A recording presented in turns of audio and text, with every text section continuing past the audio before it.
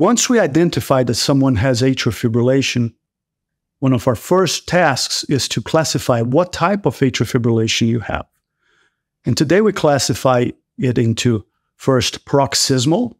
That's when you have episodes of atrial fibrillation that will last seconds to minutes or hours, but stop on their own. And these are episodes lasting less than seven days.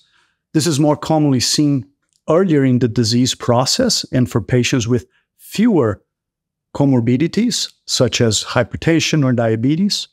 Next, you have what's called persistent atrial fibrillation.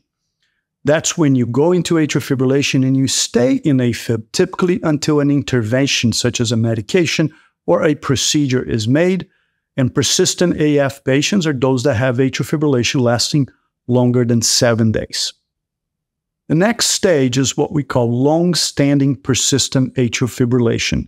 And this is when you have been in AFib continuously for greater than one year.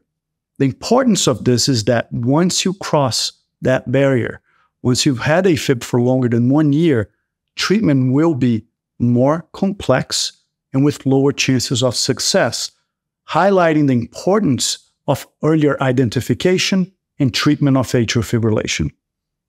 Finally, for some patients, we, physicians and the patients together, decide that there's no longer a reason to treat the atrial fibrillation per se in terms of the rhythm and those patients will have to live with atrial fibrillation.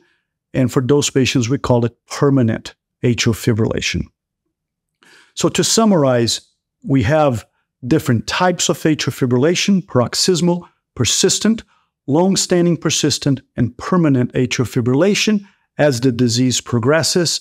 And what you should remember is that the earlier we identify and treat your atrial fibrillation, the more likely it is that we can restore your quality of life and reduce your chances of having a stroke.